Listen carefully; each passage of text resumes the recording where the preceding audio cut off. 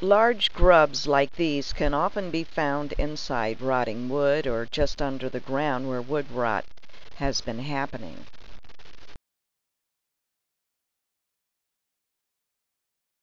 They, in fact, help to break down fallen branches and tree stumps and debris in forests, and yes, even around your own property. These are the larvae that will become stag or scarab beetles. The larvae live in the ground or rotting wood for about three to five years before becoming adults near the end of their lives.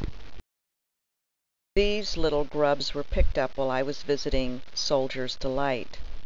You can see how very well they can strip down the wood. They don't move around a lot. They stay pretty much uh, as larvae in their individual areas.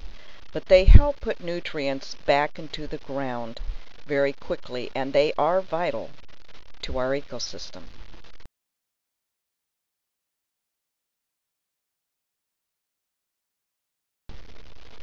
After becoming an adult, these beetles will only live a few months, often between May to August.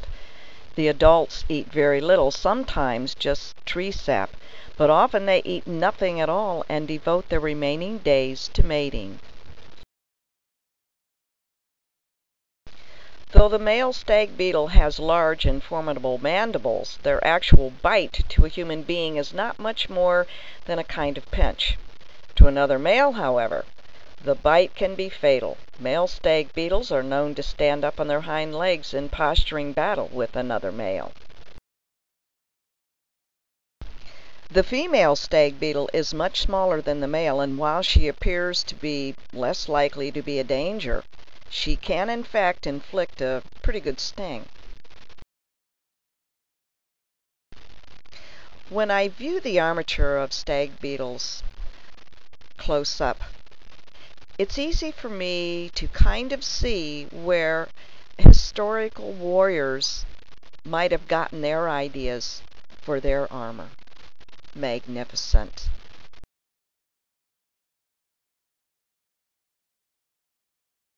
Believe it or not, the habitats that support stag beetles is declining in many areas of the world and they are seldom now, if ever, even seen in Great Britain.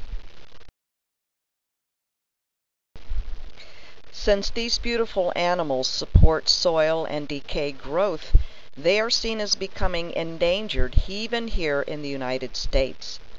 Rather than destroy them when you see them near your garden, it is both wiser and kinder to simply move them a safer distance from your plants.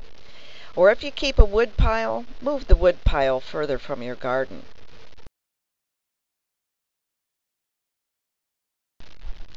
Scarab beetles come in many different sizes and many different colors, and in fact, they're frequently used as the ideas or icons behind lots of jewelry that women wear. I found this one on my deck When I do see these, I'm reminded of the uh, sacred scarabs from Egypt.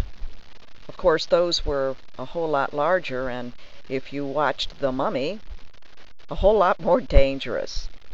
The ones in our area are just beautiful to watch.